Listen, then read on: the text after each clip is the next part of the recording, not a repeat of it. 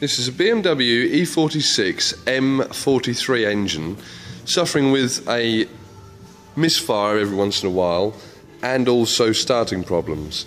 The car used to cut out whilst driving along and suspected crank sensor, suspected coil pack, tried the usual things. Um, the crank sensor, you know, we fit another one, no problem at all.